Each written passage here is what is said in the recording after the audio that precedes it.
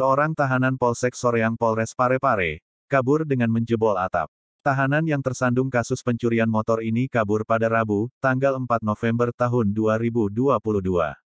Kapolsek Soreang, Ibtu Syarifuddin membantah, jika tahanan yang kabur tersebut membawa kabur motor milik anggotanya. Dia pun mengaku bahwa pada saat tahanan kabur, anggota yang berjaga lengkap.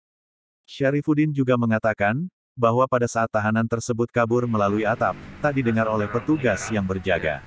Namun kalau membawa lari motor petugas tidak ada. Iya. Itu motor siapa komandan dibawa Tidak, kabur? tidak ada, tidak Oh, ada. tidak ada. hilang. Iya. Komandan bisa dijelaskan tahanan apa sih kasusnya komandan?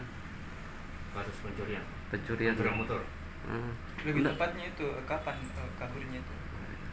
tanggal 4. Oh tanggal 4 ya. Komandan pada saat kaburnya tahanan itu itu apakah eh, lengkap penjagaan atau gimana komandan? Ya ada penjagaan. Ada penjagaannya. Kira-kira diprediksi lewat mana komandan? Produksi lewat atap di atas. Oh berarti menjebol Ya, tahanan. trolebus, ya. Hmm, oke, oke.